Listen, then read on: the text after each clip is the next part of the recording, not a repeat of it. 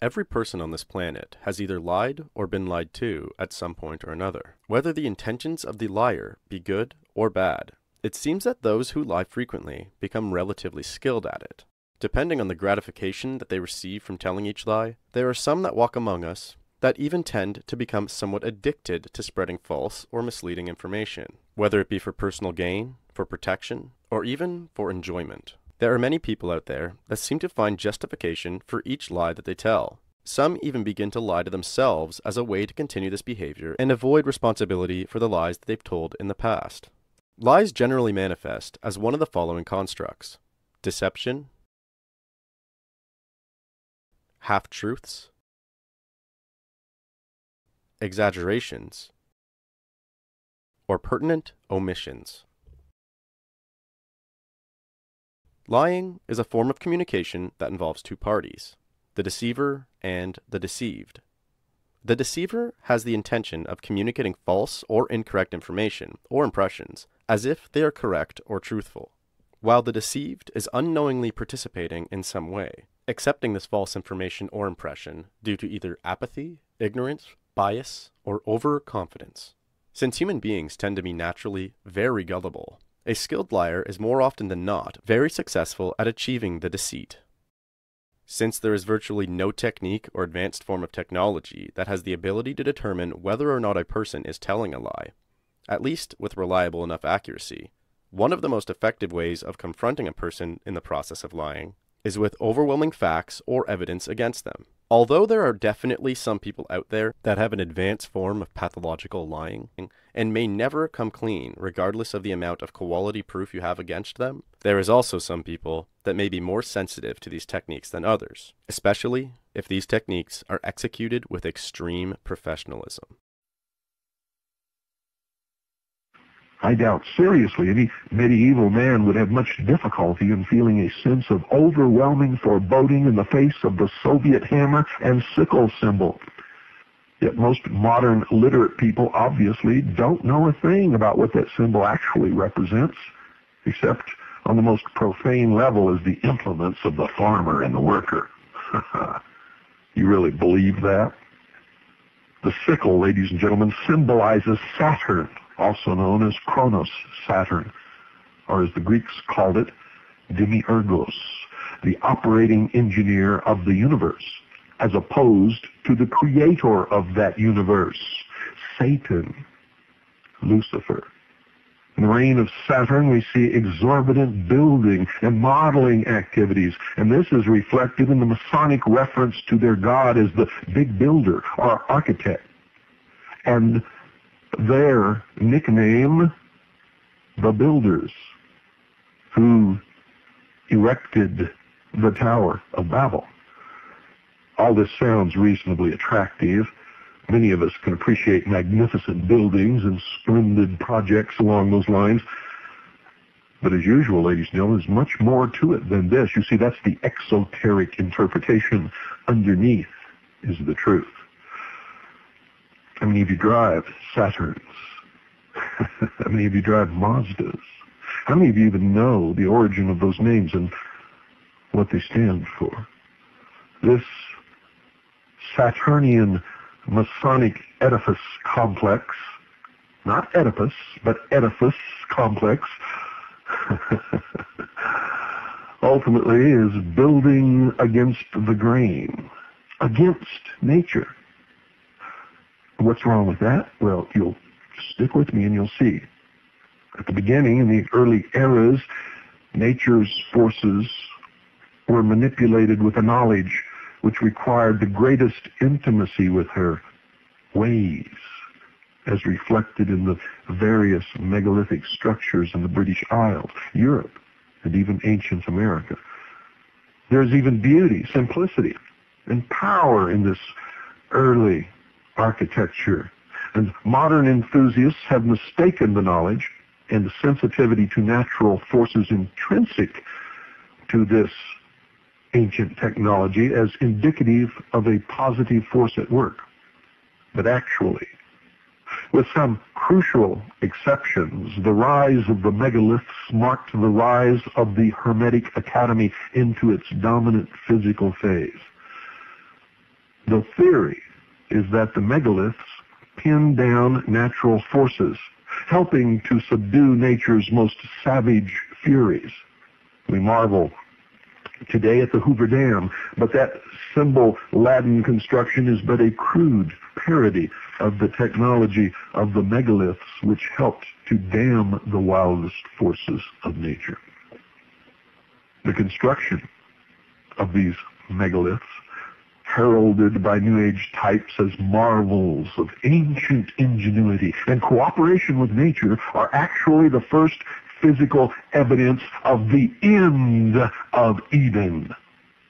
Of that period on earth when humanity lived as the servants and friends of God's natural creation, as nomads and hunter-gatherers.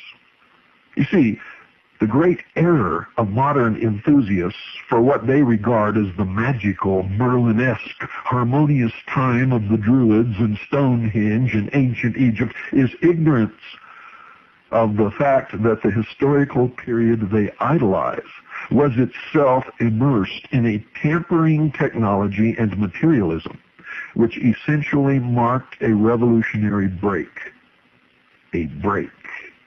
The cutting off the severing of man's relation with the natural order. Well, what is wrong with that, you say? Well, according to John Michell, he said, the first revolution of Olympus marks the first deviation from the primeval ways of men presided over by Cronus, otherwise Saturn. End quote. Saturn is Lucifer, Satan. And this revolution marks the end of man's Edenic relationship with the natural world. You never understood it before, did you? I hope you're beginning to now. Henceforward, man is alienated from nature by means of the Saturnian Scythe, which symbolizes the sense of separation from God's natural creation that man experienced after the fall. You see how simple it all really is? and it really is. That simple, ladies and gentlemen. Don't go away. I'll be right back. Ladies and gentlemen, man began his peregrination away from Eden through his conceit that he would become as God. Remember what happened in the Garden of Eden? God told Adam and Eve to tend the garden. Don't eat of the tree of the knowledge of good and evil. Commanded them not to. And he told them what would happen if they did. If ye do, ye will surely die. Lucifer, through his agent Satan, seduced Eve and told her, God lied to you. He's hiding your true nature. He doesn't want you to know that if you eat of the fruit of the tree of the knowledge of good and evil, you too will become as gods. And Eve, in turn, seduced Adam. That's the story in the book of Genesis. Now, I'm not telling any of you to believe any of this. I am teaching you the esoteric knowledge of the mysteries. And in these mystery schools and mystery religions, they believe that Lucifer was the good one and God, Jehovah, was the bad one because he was holding man enslaved in the chains, the bonds of ignorance in this Garden of Eden. Lucifer, through his agent Satan, set man free, knocked off the chains with the gift of knowledge. And through the use of this gift of knowledge, man himself will become God. That is the story. And so many people fall for this deception. For no man, I can assure you, will ever be God. Ever. No part can ever be equal to or greater than the whole. That's one of the greatest lessons you can ever learn. You think you could pick up a bushel of apples, squeeze them together and make the original tree from which they came? No. You can take the seed from the apple and plant it and grow another apple tree, but that apple tree will not be the original tree from which the seed sprang. Never. Not ever in a million years. Nor can all of the apple trees from all of the seeds from all of the apples that fell from that tree ever in their entirety be that same original tree. Of course, I'm making a little metaphor here, which is nothing even approaching the discrepancy between man becoming a God and God who made man. And I hope you can understand that. Man has a conceit that he would become as God. Yet, as soon as he left the divine plan for the occult process, his stated objective became the Kabbalistic tikkun olam, or, quote, repair of the world, end quote. In other words, God's creation was not perfect. Man is going to perfect it. Man is going to repair the imperfections in God's world via the intervention and imposition of human brain power, the very egomaniacal device that caused the separation from God's natural Eden in the very first place. Repair of the world. Indeed, a world the Kabbalists had only just ruined. Repair the world? Man can't even repair himself. I don't know any man that's perfect. I don't know any man that hasn't had problems. I don't know any man that's not hiding some dastardly secret he doesn't want anybody else to know. I don't know any man who hasn't done wrong to himself or others. Repair the world? Repair yourself first. And I doubt it can be done. It is not the nature of man.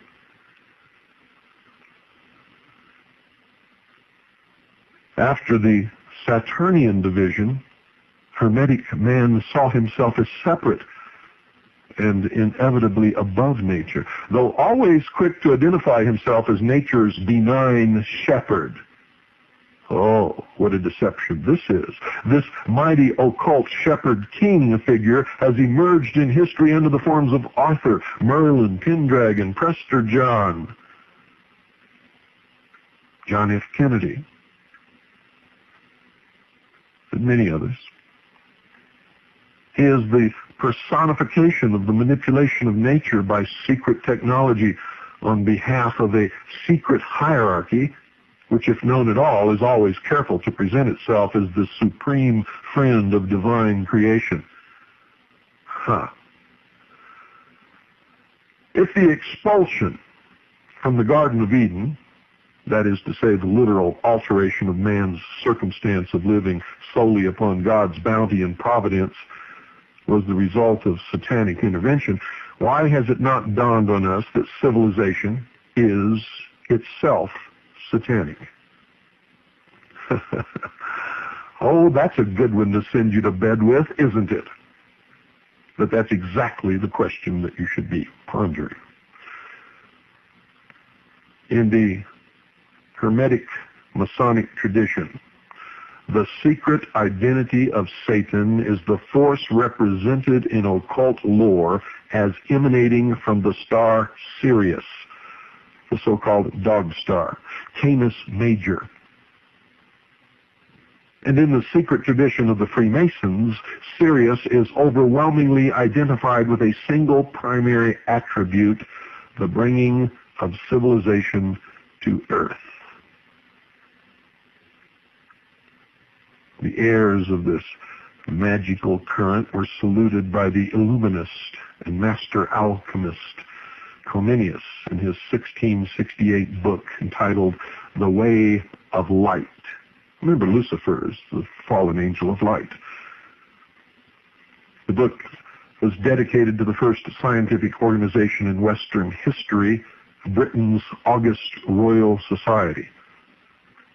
In it, Comenius addressed the first formal scientists as, quote, Illuminati, end quote, and outlined their scientific purpose, quote, which is to secure the empire of the human mind over matter, end quote. I've had so many people call me or write me and deny the very existence of the Illuminati. In a key Rosicrucian description of the city of Utopia, it is shown to be dominated, ladies and gentlemen, by science and mechanics, and more ominously, by the medical dissection of cadavers, in other words, by the hyper-analytical obsession of rationalism with dead matter and measurement. The utopian city of the Rosicrucians is before us today. New York and Los Angeles, Babylon the Great. And it was planned in 1668 and long, long before. You see, we have forgotten the depth of the roots of the modern disease. We have accepted the pop pap that anything that predated the more obvious rapacity of modern industrial pollution was natural or magical. The notion of magic being identified with the pristine. Hence, we have denied ourselves knowledge of the beginning of the rise of the cryptocracy. John Michell said, quote, It is their immediate concern, having eaten of the tree of knowledge, to apply all their newly acquired arts to constructing a facsimile of the garden, a model paradise, end quote. But you see, they just don't get it.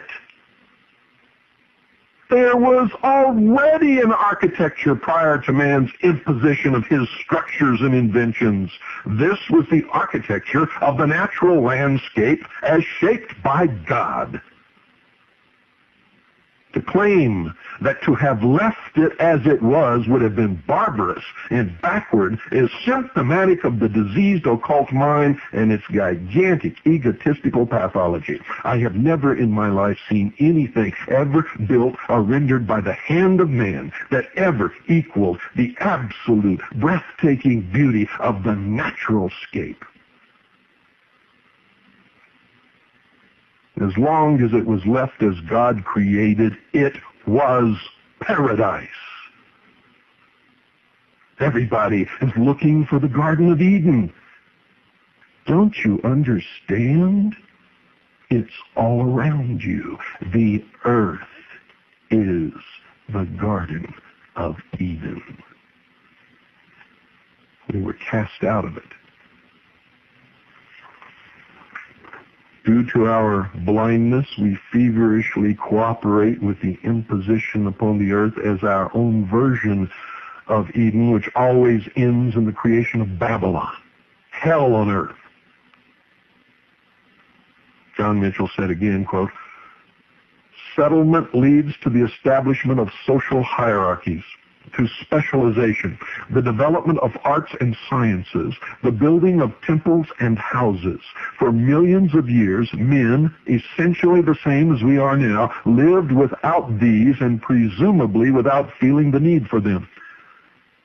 Tacitus described a German tribe that lived entirely without artificial shelter the phenomenon of successive towns built around the same sacred place, the spirit of which became the foundation deity, receiving the sacrifices offered in expiation of the crime of settlement and giving the law by which the city was governed. Implicit in this law was a contract between man and God by which the first was permitted a conditional in limited use of land for agricultural and building in return for duties and observances paid to the second. So it was understood by the founding fathers of all of the ancient cities. And the rituals tell you this. But as cities expand, these limitations become more onerous and neglected with the result that in the language of apocalypse, the city becomes Babylon, the parasitic whore, and proceeds toward destruction. In this belief, the traditional element in ancient Rome objected to expansion beyond the original city boundaries, considering it a breach of the foundation contract. Such councils were, of course, ignored, just as they're ignored today, and in consequence, Rome, following the career of all previous empires, became Babylon indeed. Civilization, you see, tends to grow more elaborate and to make ever greater demands on the earth that sustains it. There comes a time when the old natural devotion to the earth is exchanged for the desire to increase the products of the earth by artificially stimulating its fertility. This stage is marked in history by the appearance of sun gods, divinities of reason, intellect, and centralized government whose legends refer always to their victories over dragons, in effect, nature. The dragon is sometimes representative of self. The battle in the mind. When St. George was said to have slain the dragon, he overcame himself. This policy of artificially increasing the earth's fertility and multiplying the gifts of its spirit instead of accepting what is given by nature is evident in the staking of the earth in symbolism, as is seen in the motif of the knight spearing the dragon, which is sometimes viewed as the pinnacle of the victory of light over dark. How many times have you heard Clinton say that? There's a great battle between the forces of light over the forces of darkness.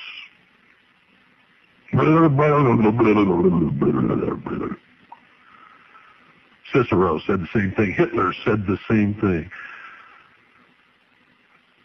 All through history, despots and Babylons have been mouthing the same thing over and over and over again. But ladies and gentlemen, we should also be aware that there is an alternate occult reading of this image. This Arthurian symbol has been celebrated by pagans and Freemasons as a sign of man's usurpation of natural creation.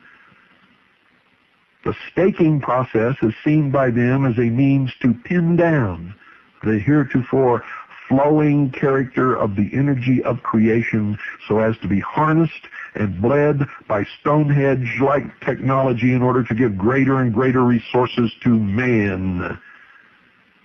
The Washington Monument is one such pinning down.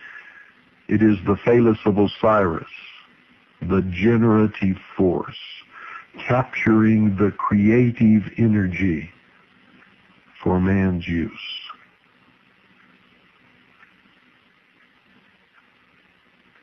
Michell said, quote, the appearance of the sun god signals the introduction of a technology that aims to alter the natural channels of the earth spirit and to stimulate its energies for the benefit of an increasingly large settled population. From all that has recently been discovered about the scientific knowledge and methods of the megalith builders, it appears that their system was in the magical tradition of Egypt, Babylon, and the ancient East.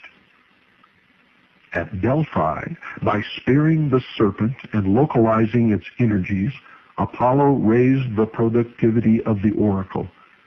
Every ancient standing stone is like the omphalos in the temple of Apollo, driven into the head of the telluric serpent current, fixing and augmenting the earth energies which had formerly fluctuated.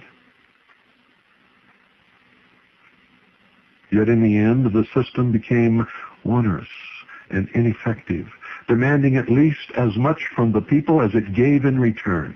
Here is revealed the inevitable betrayal by the institutionalized system of technology of the people who have come to depend upon it. The land had become more productive, the people richer and more numerous, until, under the influence of cyclical changes in the heavens, the flow began to withdraw from the temples and take other paths. The latter-day priests, having neglected the principles of the old astronomical science by which the temples were first sited and planned, and no longer sensitive to the earth's spiritual energies, could only resort to more frantic invocations, attended by ever-increasing sacrifice in attempts to repeat the former result, results, and thus followed, as it has on many occasions and in many places over the world, a reaction a reaction against the artificial and ever more futile proceedings of the magicians and a return to simpler ways, end quote. We will continue this tomorrow night. Good night, ladies and gentlemen. And God bless each and every single one of you.